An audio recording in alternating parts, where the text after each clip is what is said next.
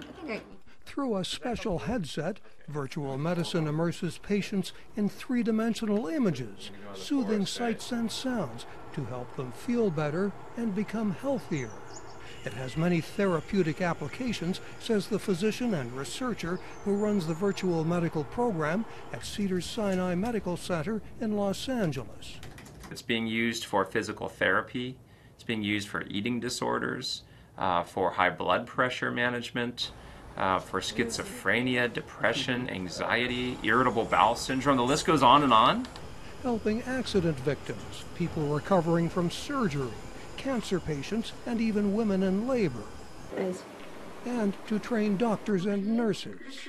The U.S. Food and Drug Administration calls the field medical extended reality and is working to expand patient access and measure the effectiveness of the technology. This patient says it helps him manage oh chronic pain he has suffered since undergoing cancer treatment decades ago.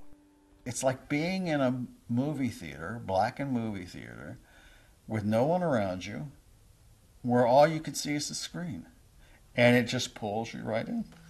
The program takes him virtually to new places.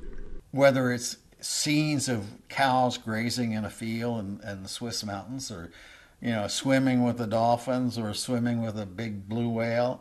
The system provides feedback to help users calm the mind and retrain the brain, says a psychiatrist who develops the programs that work through sophisticated headsets. So this headset has embedded biosensors in it for collecting heart rate, heart rate variability, uh, your uh, pupillometry, which is your pupil size, also eye tracking, letting the patient fly over a waterfall, for example, controlling the imagery with the mind as the body responds to the calming experience.